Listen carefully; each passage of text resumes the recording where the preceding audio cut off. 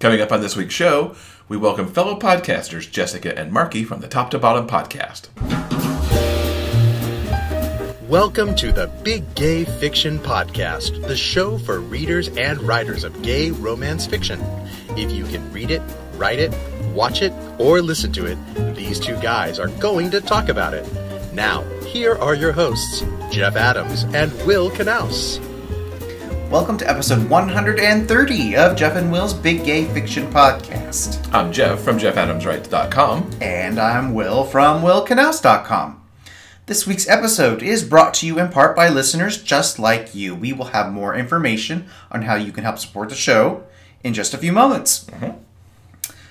Welcome back, everyone. I hope you had an enjoyable Easter or Passover, or if you choose not to celebrate any religious holidays, we hope you had a terrific week and a terrific weekend and got lots of great books read. Absolutely. Welcome to April. Here we go. Awesome. Spring is hopefully sprung where you are. I know I know a lot of people are still digging out from, you know, the various and sundry snowstorms that have happened recently. I hope you're staying warm and reading good books. So, the past week, The past week, uh, we went back to see Love Simon again yesterday, uh, which was awesome. I can't remember the last time that I've been to a theater to see a movie a second time. It has been ages since I've done that, and this one was well worth it. I think. I think I might have actually liked it even more the second time, and I was pretty gaga over it the first one. Um, I'm just I'm dazzled by the way that Nick Robinson uh, portrays a teenager who's got all this angst and stuff built up, and um, as I watch the scene with Jennifer Garner where she tells him that he can finally exhale, every scene after that, you just he he he portrays it so perfectly. Uh, this is Simon's third week out at the theater, and if you haven't seen it in the theater yet and you're thinking about it, you should probably get there soon uh, because it's probably going to start wrapping up its run here, I would think, pretty soon uh, before it moves on to DVD and Blu ray and on demand and all that stuff over the summer sometime. Uh, any thoughts on seeing it the second time? I also enjoyed it uh, on on second viewing. um, uh, I was able to uh, enjoy um, the um, I think the acting a little bit more. I think uh, once you know I've you know I've seen it before. I got the story down. I know what's going to happen. So Yeah. I was able to enjoy the performances even more. I think everyone is pretty darn exceptional. I really really enjoy this movie a lot. yeah so go see it and and we'll try to stop talking about it here soon but it's it's such a watershed moment for for cinema to have this every time that simon uh kissed blue as they connected uh was just like yeah you're really seeing that right here on on the big screen in a big movie and not in an independent film. Uh really good stuff there. Writing continue well not really writing editing. I'm still editing on uh, winger 3 finally going to turn that in today. This is sunday that we're recording and i'm finally going to send it back uh, from the mass of editing notes that i got. And uh, it's a better book now because of it. Uh, editor laura um, knows these characters i think just about as well as i do and she makes stunning recommendations like oh yeah i wish i'd thought of that. Uh, let me just write that to the book now that you've suggested it. So that'll be getting on its way and of course uh, winger 3 will be out in the fall and we're actually one month away from schooled which is winger book number two from coming out it's on uh, pre-order and there'll be links in the show notes if you would like to pick up your pre-order copy of schooled Now, just a super quick note: we will be at the LA Times Festival of Books. oh yes Uh, that's coming up uh, april 21 22 Thank you. I wasn't sure of the date, but uh, yes, it's coming up later this month. We will be there, uh, and Jeff will be signing some early copies of Schooled. Yes, if you're if you're in the LA area and you want to pick up an early copy of School, there will be paperbacks available at the LA Times Book Fair. Uh, some tracker hackers will be there as well, and we will be signing uh, paperbacks of Hockey Player's Heart as well. And as we get closer to that event, we'll give you far more details uh, on what we're doing there and uh, what else is going on there. Dreamspinner is going to have a what looks to be a pretty large uh, presence there again this year with several authors, and uh, we'll share that author list uh, once we know it. Also in fancy schmancy news. Um, we reached a particular milestone in our co-written book. The Hockey Player's Heart came out in audiobook this week. Yes, it did. Uh, performed by Finn Sterling. Um, we've we've reviewed some of Finn's books on the show previously. Uh, he did The Fireman's Pole by Sue Brown, which we reviewed a few episodes back, as well as I did the version of Out of the Shadows, which was by Casey Wells, um, also a Dreamspun Desire that was out sometime last year. Uh, we've liked Finn's work. Um, we've dabbled in uh, hearing the prologue of Hockey Player's Heart, and so far I like what he was doing with uh, Caleb and Aaron as their 16, 17 year old selves. Uh, I plan to give the book a listen. Uh, I don't know if you want to hear our book read. Some authors don't like that. Uh, but I'm going to give it a go because I'm curious. Uh, I don't plan to review the book because that would be weird, although I will probably talk about Finn's performance a little bit uh, in a future show, probably next week because I think I'll do it this week. Uh, we also want to give you the chance to win a copy of the audiobook of Hockey Player's Heart. Uh, there's a Rafflecopter in this week's show notes. Uh, you can go and register to win, and we'll give some lucky listener an Audible code to pick one up for themselves.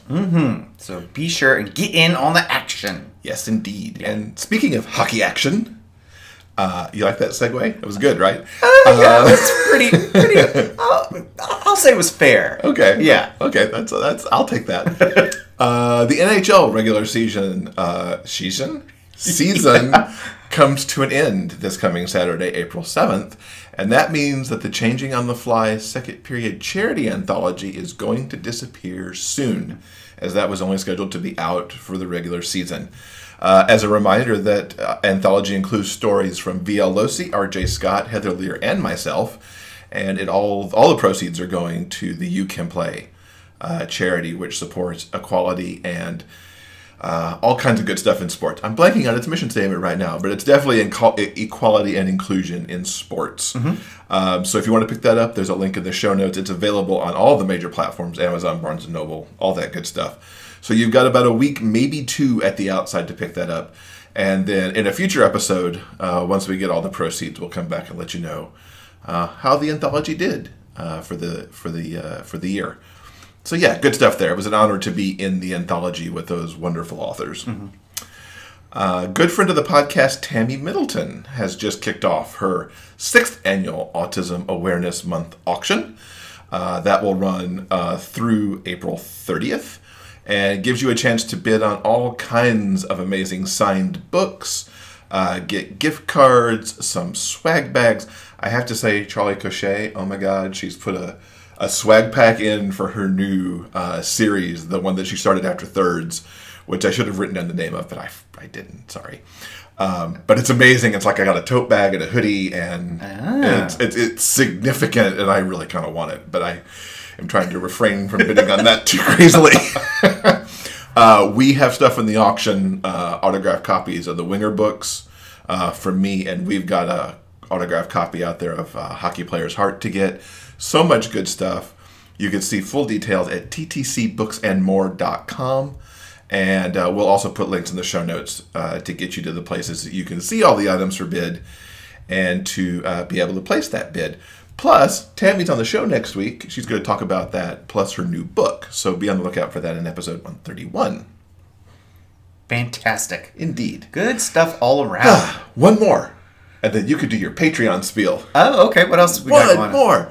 So, big congratulations uh, to Dani and the entire reviewing staff of Love Bytes Reviews. Dani, of course, is one of our contributors, and we're thrilled to have her and thrilled to wish Love Bytes a very happy fifth anniversary. Uh, they're celebrating with a month of giveaways. And we've got a link in the show notes so you can go check out the big post about all the all the giveaways that are going on. She's got so many authors involved in this. It's pretty awesome. Uh, again, we've put a, copy of Hockey Player's Heart in there. You can win that book all over the place this month. and it's not even the month that come out. Um, so check out lovebytesreviews.com or get the link in the show notes. And happy anniversary to Dani and Love Bytes for all the awesome stuff uh, that they put out uh, for the community and the readers. Exactly. Now, we want to take a quick moment to say thank you to you, our listeners. Um, we're truly grateful that you show up every single week uh, to listen to us uh, give some news and notes about what's going on in the industry, and also to hear us talk about books and uh, our various interviews with some really terrific people. I know. Uh, I'm I'm continually surprised. Um, well, maybe not surprised. I'm I'm very I'm very happy, very humbled that so many remarkable people choose to come on our show. Um, and we're so very happy that you uh, listen to us every single week. Um, now, you can help support the show uh, with a pledge through Patreon. For as little as 25 cents an episode, your pledge helps pay for the cost of producing and distributing this podcast. For fans who pledge at the silver and gold levels, you'll have the exclusive opportunity to ask questions of some of our amazing guests, which I just mentioned. Um, and also, any month that our pledges cover our monthly production costs, we'll produce a bonus episode, especially for our patrons. The April bonus will be available in just a few weeks.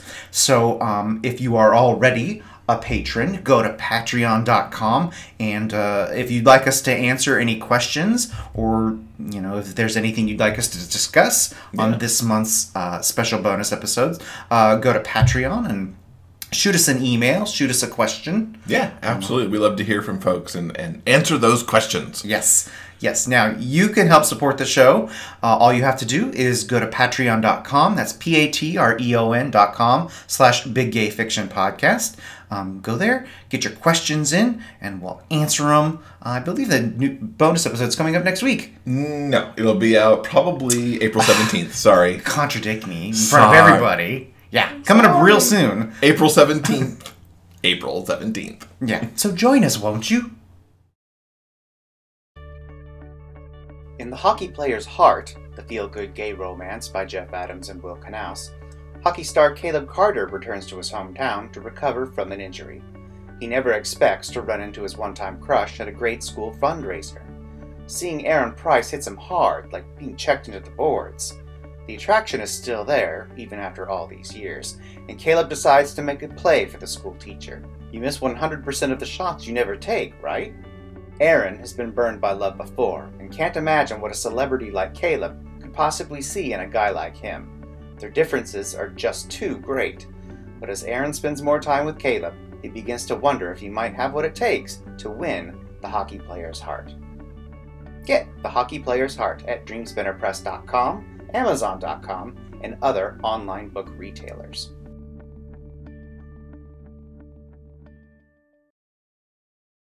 Now, before we get to our good friends Jess and Markie from the Top to Bottom podcast, we want to quickly talk about some books that we read this past week. Yeah, absolutely. So I kicked off with History is All You Left Me by Adam Silvera.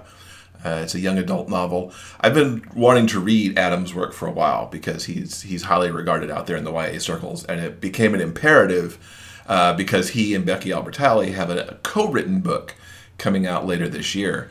And so I wanted to, to dabble on a little of Adam's books. In fact, if you look, if you watch Love Simon closely, you actually see Adam an Adam book up on his bookshelf over his desk, sitting alongside Becky's Upside of Unrequited, which is also up there. So anyway, another little Love Simon tidbit. um, this book was amazing. I will I will give a little uh, heads up that it is a very emotional book to read uh, because it opens knowing that there's death um, at the forefront of this book. It's even in the blurb, actually. Uh, we open and find uh, Griffin, who is 17 years old. Uh, his first love and ex boyfriend has died in a drowning accident in California. And uh, even though he had broken up with Theo before Theo moved out to California, um, they stayed close friends. Uh, he knows that he was that Theo had started seeing this guy named Jackson. Uh, but Griffin kind of always believed that Theo would come back into his life when the timing was right. Uh, they had they had made promises to each other, uh, and unfortunately, one of Theo's promises was that he would not die. Um, so, of course, that just weighs all the more on Griffin as uh, as they uh, find out about this. The book shifts from the present, uh, and in the present, we actually start on the day of Theo's funeral. And Griffin, throughout the book, is telling stories about Theo and how they how they met, how they became boyfriends, how they came out to each other, and just so you get the arc of their romance, including the breakup, um, in the history parts of the book, and then in the present is Griffin dealing with uh, Theo's death and his grief, the grief of his friends, um, what to do with Jackson because Jackson comes to New York City for the funeral. Um, this is a very tough but really an amazing book as as Griffin kind of navigates all of his emotions, uh, which are only compounded a little bit because he's also got some OCD. Um, he counts a lot. He needs everything to really end in even numbers. And he also has uh, this major need to walk and to be on the left of everything, um, which Theo dealt with perfectly because, you know, good boyfriends do that. Uh, but navigating it with all the strangers that are now around because of the funeral and with Jackson and everything kind of brings all of his OCD to the forefront as well to deal with. Um, the I did this in audiobook and I have to give a kudos to Tom Picasso who was the uh, the narrator here. Uh, he really nails Griffin's various emotional states from the the weighing grief in the present part of the book to the sheer happiness of his early days with Theo and all the dates that they had and everything that they did, um, to really the healing that happens towards the end of the book as everybody kind of pieces the puzzle together of what really happened in California and starts to find ways to move on. Uh, the book goes for roughly, uh, I want to say, two months in total um, from um, the funeral to where it ends in its present day timeline. Uh, so you get this full kind of arc of, of Theo getting, you know, starting to heal um, afterwards. Um, there's so much in this book because you get that first love and you get their romance and then you get all of the heartbreak of the breakup and the grief of of the death and it you also get these moments where at least me as an adult reader go, "Oh, don't do that," because you just see like the train wreck that's about to happen uh, with some of the choices that these teenagers make.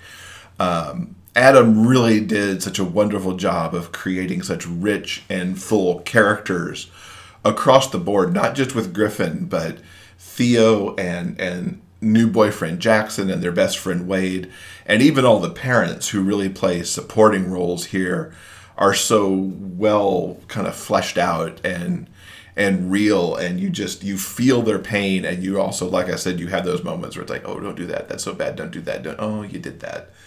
But there's also twists and turns in here that I didn't see coming either which I really appreciated.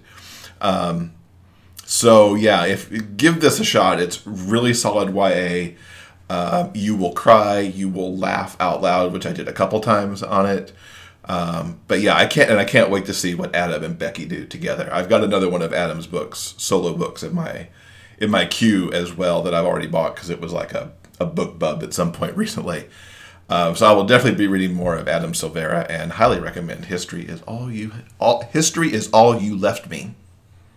So, if you're watching the video right now, you're probably watching me make a lot of really confused and incredulous faces. I'm going to ask you a question. I didn't think they were incredulous oh, necessarily. okay, maybe that's not the exact word I'm looking for, but I'm going to ask you a question. Okay. Because I personally think that book sounds horrible. It's all about OCD and it's all about death and all about pain and people working through horrible things. Why? Can you sum up why you like that book? I really like the range of emotion Okay. that's displayed because yes, there's pain, but there is the path to healing at the end. So you're not left in a, oh my God, what did I just read? Um, it is a roller coaster of a journey. Of a, it's a roller coaster emotional journey for sure. Um, I would liken it to, um, oh God, John Green, and I'm like totally blanking on its name all of a sudden. Mm-hmm. The one with the movie. Well, actually, he's had a few movies now. Oh my God, um, help me! Fault in Our Stars. Thank you. I would liken it. Don't just laugh at me. Help me. Sorry, but Um, I'd liken it to Fault in Our Stars because I mean that's a movie that's got some heavy grief in it, and but you it, it's really one of those books where you get all the feels. I Okay. mean, it's all kind of just bundled up in a really good uh, package there. All right. And like I said at the beginning, it is a tough book. And if you don't want to read something that is going to make you cry, you have to go through this funeral, then perhaps don't pick this one up. But if you want all of those feels, um, give this a go because it's it's really exceptional. All right. Did that help clarify? Yeah, I think so. Good. I think so. And sorry I babbled through that review. It was, I tried to, to sum it up in the best way that I could, but I had you here to help me out. Okay, so I also read a book this week. It has no death whatsoever. um, uh, I read a terrific novella by Jason and Ed Gaffney. Uh, it's called Creating Clark. Now, we had Jason and Ed on last year. They appeared in episodes 89 and 90. Um, and this is the first novella in their uh, California comedy series. Um, I really really enjoyed. Um, they were on the show kind of promoting the third book in that particular series. So I am finally, after all this time, going back and uh, reading the beginning. They're all standalone. Um, uh, really fun, tropey romances, and creating Clark is a makeover story. Uh, it involves uh, Clark, a nice guy. He's a coffee shop owner, and he happens to have a crush on one of the regulars. He comes in every morning uh, and gets his, you know, mocha latte, something, something. I don't know much about coffee. Uh, he gets his fancy beverage and then he goes. Uh, and but Clark is absolutely in love with him, and he doesn't know how to have a, a, a conversation Okay. uh, other than you know what would you like to drink that kind of thing uh, poor, poor clark uh, is constantly at a loss for words when this uh, beautiful guy comes in every morning so what he does is he asks his best friend hunter for advice uh, on how to talk to this guy. Um, Hunter uh, is an actor. He his his one big thing. He was the the spokes spokes guy for like a, a pizza chain. So he's had some like national pizza commercials. That's was his like one big thing so far. Anyway, Hunter uh, is wants what's best for his friend, and he seems really into this guy. So he agrees to give Clark a makeover. They go, they get him a brand new wardrobe, they get him a haircut, and, and they also go through some uh, sort of a dating boot camp. They they go through different scenarios uh, to kind of get Clark to like loosen up and act like a normal person when he's around this uh, guy that he's interested in. So during all of these different run throughs, Hunter comes to the realization that Clark is actually a pretty pretty spectacular guy. He's been sort of hiding behind some schlubby clothes and a you know bad haircut, but he really finally comes to the real, realization that that he's really into Clark. Um, and uh, as they go through the motions of of building the possibility for uh, making Clark dateable. Um, um, uh, one of their training sessions goes a little too far, and they end up sleeping together. Uh oh. Uh oh. That's a problem. Uh, immediately, they, they back off and they both admit that that was a huge mistake. That's not what this was about at all. Uh, but Hunter finally realizes that Clark is amazing and he wants to be in a relationship. It all comes to a head at the big charity gala. Um, Clark gets his act together and does ask this guy out on a date, and they go to a big charity function. So it's up to Hunter to finally make his move and and go to this function uh, and get to him first before poor, poor Clark makes the mistake of his life and commits to this guy who, who's not ideal. Um, so I really enjoyed um, this book an awful, awful lot. I think um, Jason and Ed really zero in on uh, familiar, tried and true tropes uh, and make um, wonderful, funny, likable characters that go through these sometimes outrageous situations. Um, Creating Clark is, of course, a, a makeover story. Uh, it's also a friends to lovers story. So if you're into those tropes, I highly recommend you check this novella out. Cool. I have no follow up questions to that review because, of course, you did a really good job. Well, thank you. I swear he's trying to reform the way I do reviews on the show, and one day I'll get it right. um, I wanted to quickly talk about an event that happened in New York City recently. That there are some wonderful videos to watch on YouTube. Uh, each year, the MCC Theater, which is one of the not-for-profit off-Broadway companies, although they may they actually have a Broadway house now. Mm, I think they Um, do. they actually have a Broadway house where they do some stuff uh, on the main stem.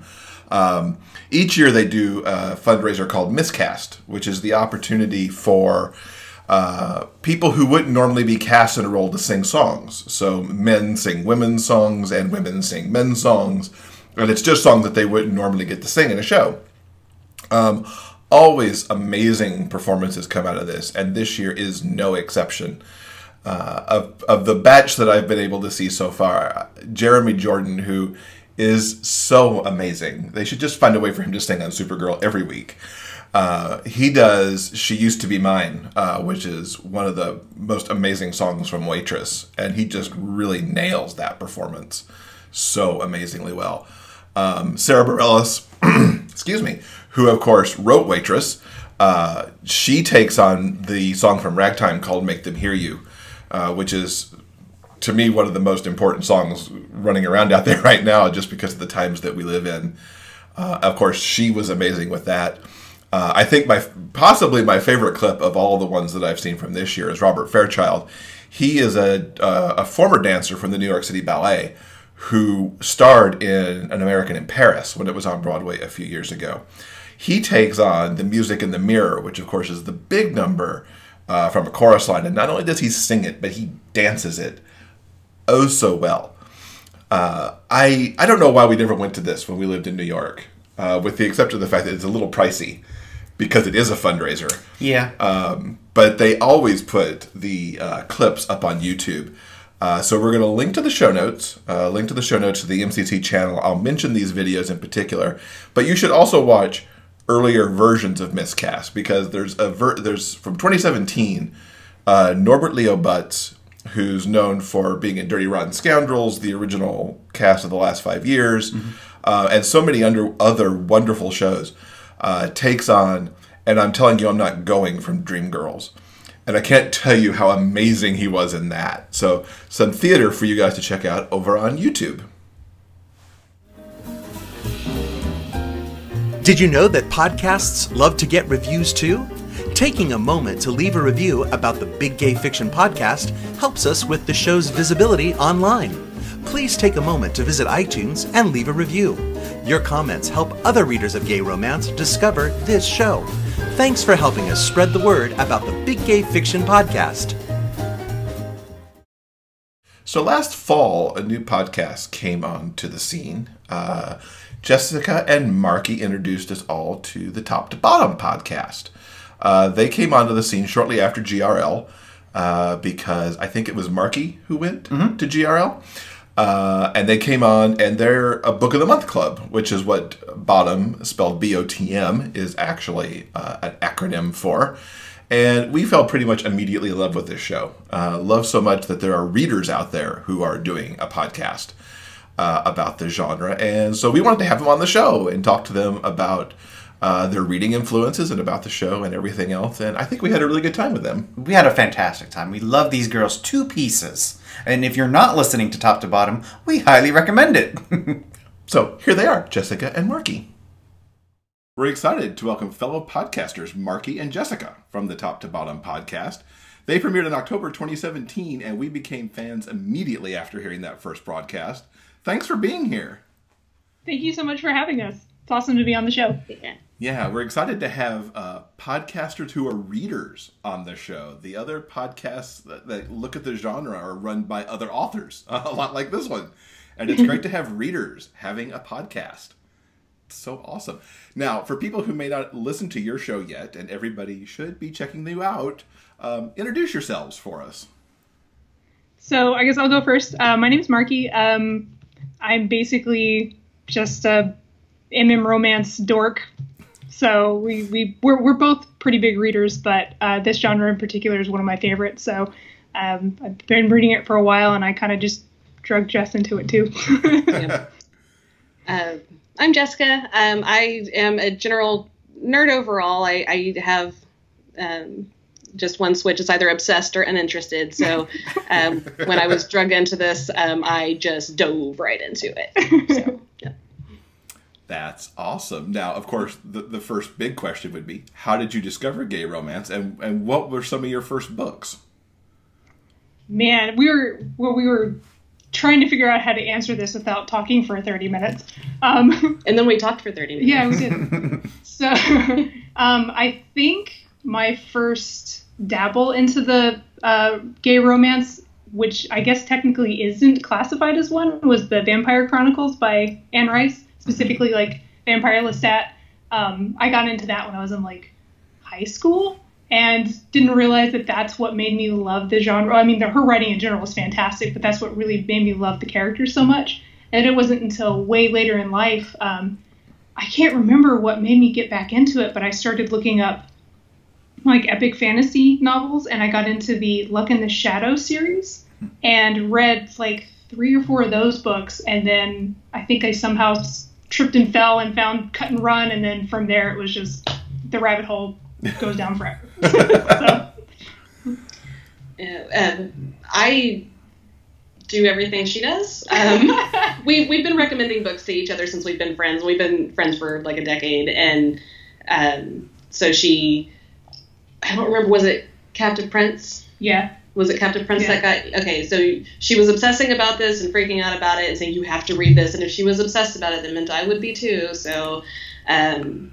yeah, I just dabbled in, and then it was a series of angry text messages about what she's done to my life now, and haven't looked back. Has it become the dominant thing that you read now, or are you still branching into other genres? I still re- I have to read a lot. We have other book clubs, and um, I have to read a lot because I just need it. Um, so I, I read a lot of different things when I can, but it's been primarily male male romance for like the last year, yeah. with some offshoots on series I continue to follow. But Mine's pretty much all just gay romance. Yep. that's, that's all I read now. So, how did you make the leap to decide to start a podcast? so um, again, we've been friends for a long time, and we have this tendency to uh, Lucy and Ethel our way into obsessions and things and projects and, and things that we're going to do um, to leave our normal jobs behind.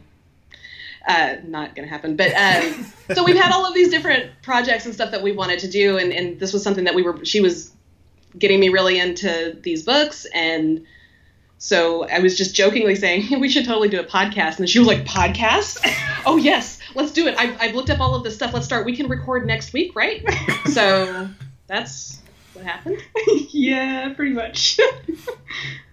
Wow, that's just kind of d- diving right in. I think we researched it for a couple months before we took the big plunge. yeah, we that researched it for, probably- for some hours. Yeah, that probably would have been a better thing to do because there was a lot of hiccups and oh, I thought it was going to work this way. What What do you mean that we can't record in one go for with no edits? This should only take ten minutes, right? Yeah. what inspired the book of the month idea? Because I, I find your show unique in that you know you've got the top episode where you introduce the book and the bottom episode where you talk about the book. Uh, how did that come about? Well, like Jess had mentioned, we we run uh, a couple other book clubs that we do for fun, and so when we got into this genre, it was it just felt like the natural step for us to take since we The, do those the whole often. reason. The whole reason anybody is ever in a book club is so you can have other people to talk about the books that you're reading with. If you want to freak out about it or hate it or love it or whatever, there's other people there that can, you know, share or, or contradict or whatever. And that's why we've done book clubs in the past for other things. And that was most of our friends aren't super big readers, and we really wanted to find other people that would talk about these books with us aside from each other yeah and that was really the primary driving force i Mhm. think yeah we wanted to find more people to talk uh, talk about these books with and and share our love for them, and so we kind of felt like that was the best way to do it. Yeah, us too. I yeah, Yeah. totally, totally, hundred percent. Yeah, we just didn't go the book club route. We just do the reviews and and put it out there for other folks to hear. Um, how's the reaction been? Do you have other people who join you on these odysseys each month? I mean, we're we're still pretty new, so our our little tiny pool is growing. We've got like we'll have more people joining in on our um, Goodreads page and stuff like that, but it's it's been pretty light. So we we're hoping to grow more people to have more interaction, so we have more things to discuss on the show. So we could say like, oh, so and so said they really like this part or whatever. But so far we're still pretty new. So. Yeah, we have some interactions through the Facebook page and stuff, so we do have people talking, but it's not as much about the specific books, except for in the Goodreads we've had we've had some traction there, but um, we'll get more. We will bring more people into our yeah, evil we're not cave. even yeah, not even a year old yet. So. Yeah, there there is always that that time to kind of get cranking out there, which is another reason we want to have you guys on the show and help broaden that out a little bit if we can, because it, it's a fun show. It really is. Uh, what other podcasts do you guys listen to? Besides y'all.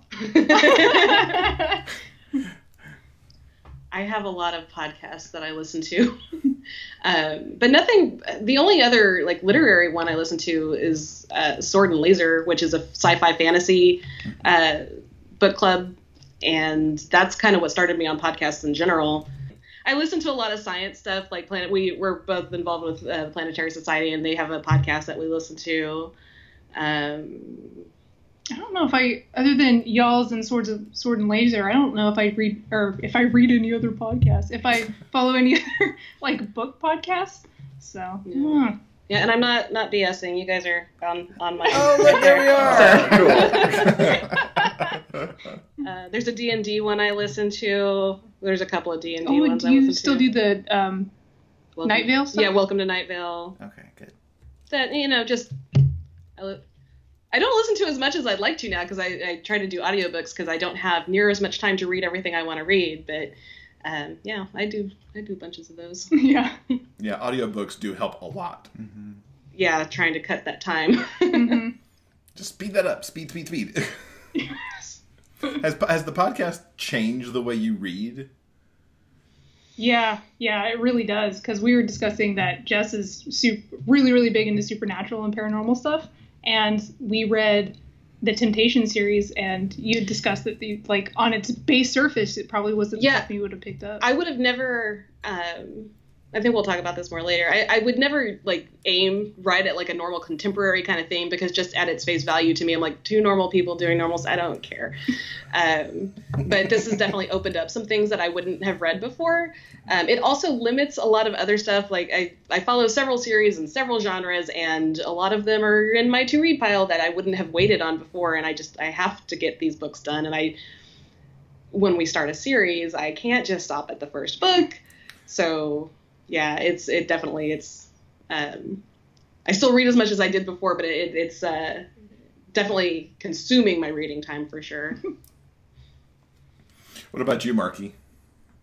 Yeah, it's we picking up because what we'll do is I'll, I'll go in and look at authors that are really popular or ones that are recommended a ton because I'll I go and follow everything on Facebook like different groups and stuff. So if I see something surface over and over, like people are really excited about this particular new author or this established author or whatever, um, I'll stick it in our like, okay, well we need to pick up one of these books because apparently they're fantastic.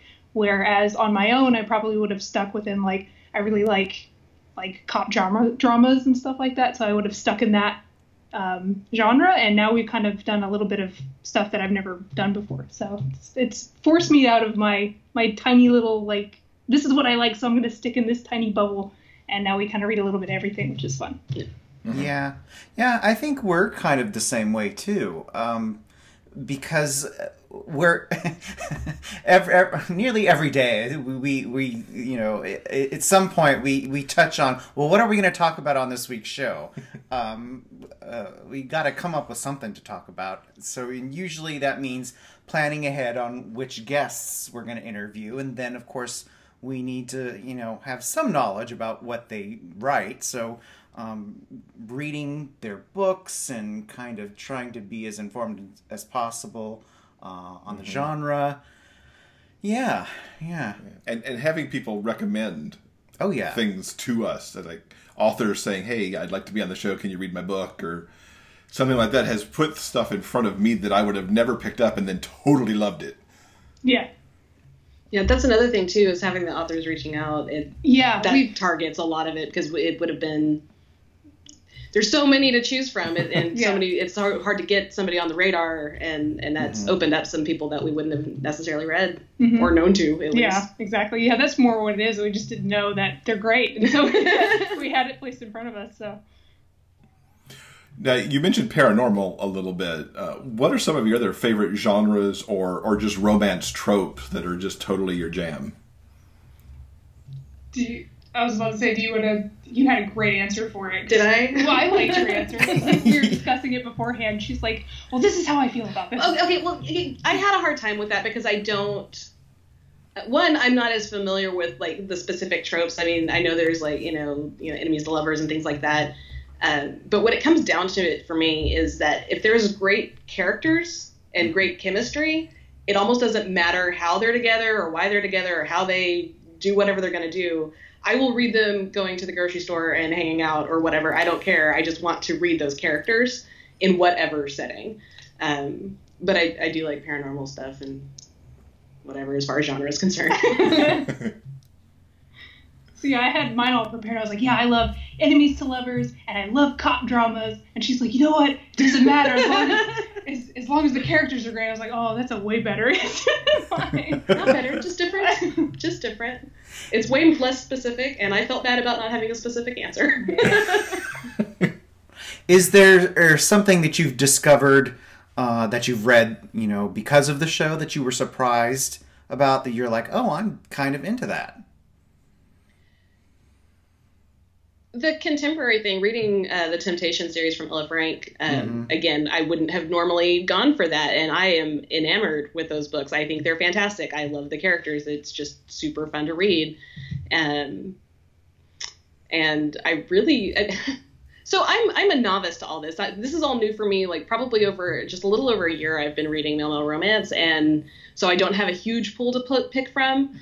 Um, but like. Uh, we just read the K.A. Merikan's um, Guns and Boys series, and so the Mafia thing, I, I don't think I've read any Mafia books before, and so that was really kind of interesting.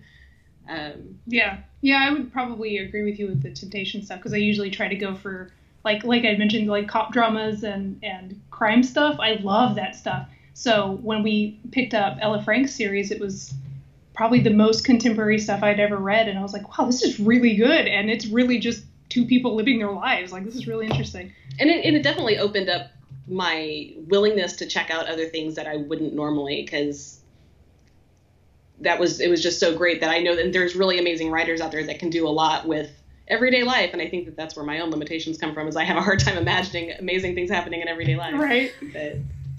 But Now, your April top episode comes out the same day that this episode does. Uh, what can listeners look forward to uh, for April? So we're still uh, we we know who we're reading, and we are still lining up definites, but we're really hoping we're gonna have Mary Calmes on, hopefully. Yes. We're reading her books. Best case scenario, we were ha- we will have her on the top episode. Worst, or well, second best, we'll have her on the bottom episode, and third best, we'll just be reading one of her awesome books. so, uh, we don't know which one yet, though. So Yeah, but definitely she's definitely going to be our April pick. So we're we're picking out which ones we want to try to go for, and and maybe if she can weasel us in because she's really busy. So if she can, we're going to try to get her on the show too. Nice, very nice. Yeah, she's got some good stuff. I'm only recently uh, have been. She's been around forever, and I finally only read one of her books like late last year. I don't know Nice. why that was such a gap for me there, but it was.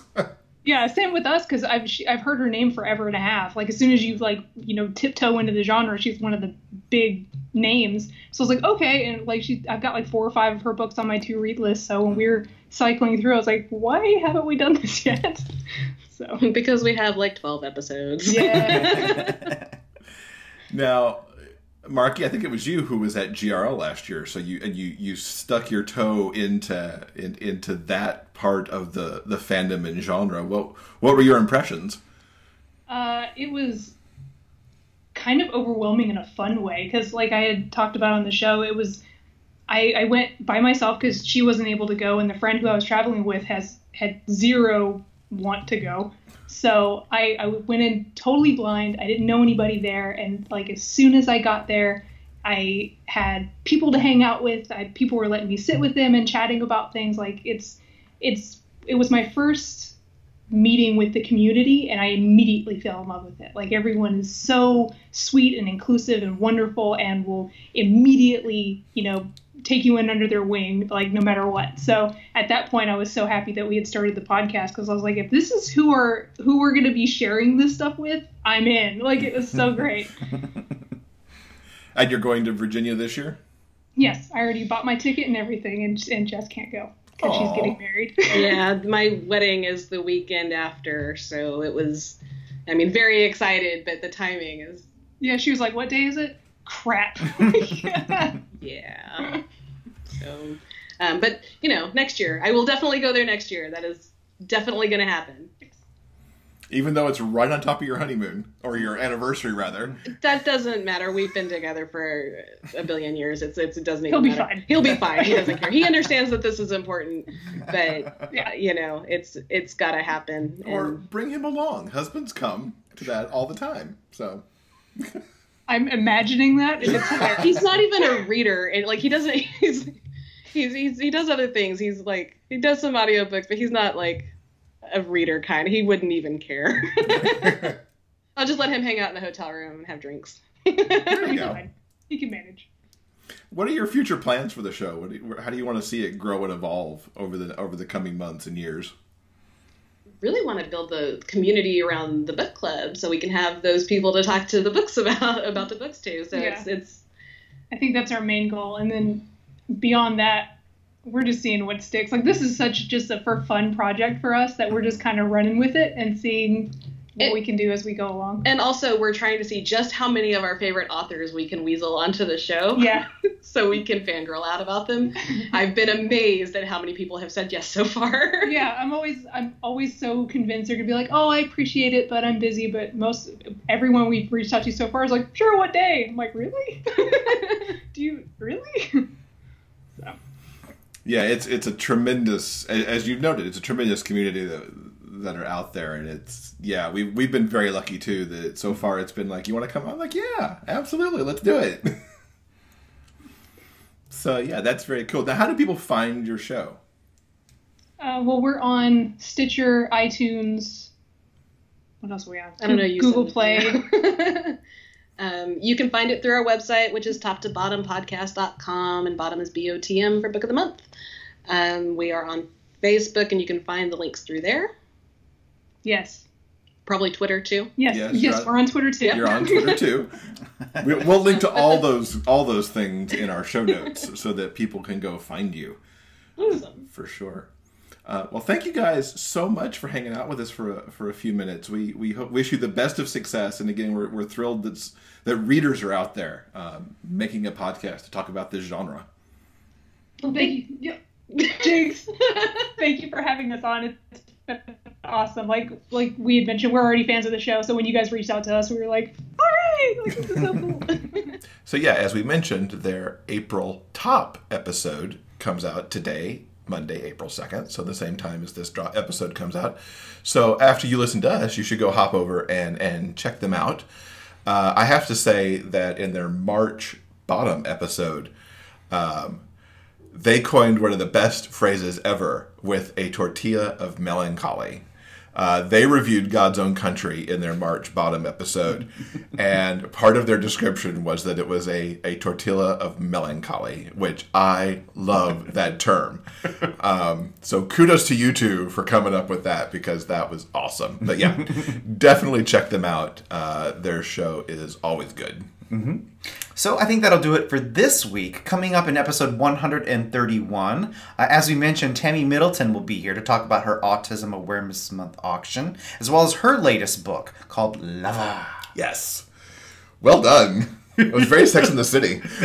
very Carrie Bradshaw there.